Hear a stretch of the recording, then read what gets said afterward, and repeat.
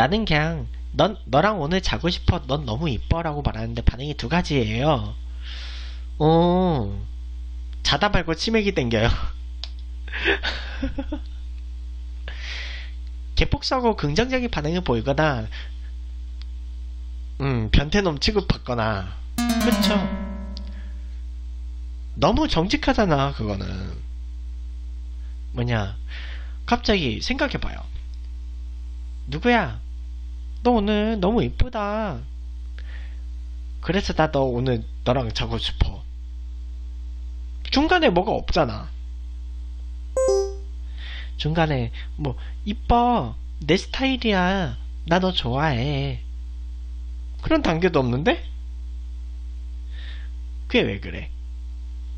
뭐 그러니까 그 중간 단계가 그 없으면요. 그 그건 진짜 성범죄 되는 거예요. 응? 여러분들 그 평생 전자발찌 차고 다닐 수도 있어요. 뭐 바나나를 잘리든가. 응? 그쵸, 기왕감사님. 그 진실한 느낌이라는 중간에 뭐가 좀 필요하다는 거예요. 어, 이쁘단 얘기 한 100번쯤 해야 되고 그리고 음, 너 좋아해. 막 그런 얘기도 좀 몇 번 던져주고 그래야 되는데 그리고 어느 정도 통했고 그래야 좀 서로 좀 찌릿찌릿해야지 엄청난 리스크를 감당을 하고 사랑을 할 수 있는 거죠.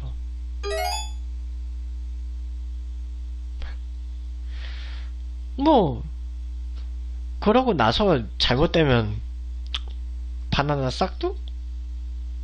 응? 여자는 이론으로 풀기엔 불가능해요. 그쵸? 그, 이거는 인문학이 아닌데요. 아니요. 남녀에 대한 탐구도 인문학일 수가 있어요. 다만 이게 어, 어 떻게 좀 얘기를 풀어내냐에 따라서 인문학이 될 수가 있고 그런 그냥 저속한 그 성드립일 수가 있고 테이냐님 그런 얘기만 전문가이시네. 그냥 사람에 대한 탐구 뭐 이런 거죠. 아니요. 그 좀 그냥 역사 얘기 그리고 그냥 사람과 관련된 그런 인문학 얘기, 세상 이야기 뭐 그러면서 이야기 쌓아가는 거죠. 다만 인문학을 좀 그 이해할 수 있는 그 확실한 방법 중 하나가 연애예요. 지태님 남녀 얘기 원래 더 흥분하고 광대 승천하세요. 어, 어떻게 알았어? 역시 내 열혈팬은 달라요. 그래서 좋은 여자가 답이 없으니까 귀엽다가 섹시했다가 흐트러졌다가 엄격하다가 그게 뭐예요? 그건 중간에 뭔가 좀 잡아주는 뭐가 있어야죠. 사람의 인성이 있어야지. 혹시 인문학에도 라면 먹고 갈래라는 말도 나오나요?